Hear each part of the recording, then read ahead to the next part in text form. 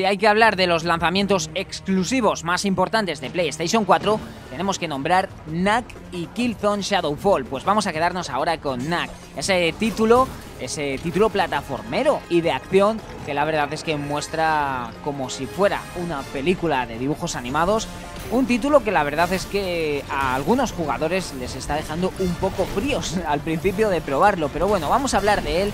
Ha mostrado en esta ocasión su modo cooperativo, hace la dificultad más difícil en caso de ser necesario. Atentos porque lo ha mostrado así Sony, el nuevo material de NAC, nuevo vídeo oficial, esta vez centrado en ese modo menos conocido en esta aventura, tú hay que decirlo, el cooperativo para dos jugadores. Este modo permite controlar con otro, con otro mando o con una PlayStation Vita incluso a un segundo protagonista, Robonac.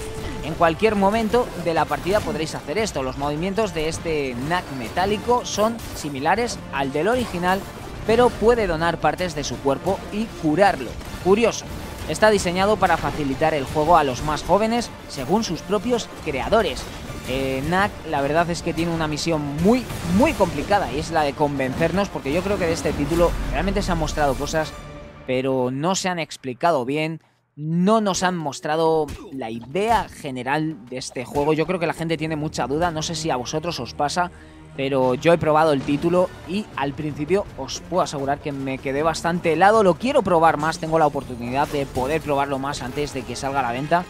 Y creedme que lo haré, porque creo que, que hay que probar bastante este NAC, este misterioso NAC.